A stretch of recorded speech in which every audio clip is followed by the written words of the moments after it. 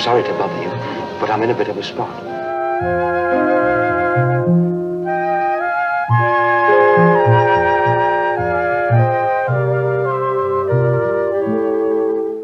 When are you thinking of settling down then? When I find the right chap, What sort of bloke are you looking for? just someone who's with me all the time. Well, you just have to wait and see who turns up. Well, do you know he hasn't turned up already?